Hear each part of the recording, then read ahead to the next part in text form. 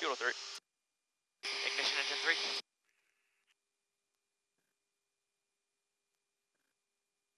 We're gonna do a stroller.